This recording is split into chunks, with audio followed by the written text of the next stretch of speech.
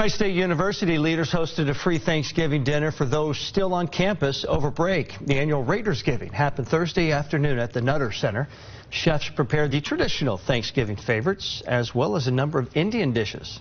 The event gives Wright State students, faculty, and alums a chance to share a meal for the holiday. We open the doors. We there's the food is free. We get tons of donations for door prizes. So it's just a fun day. There's coloring for the kids. There's pinatas for them.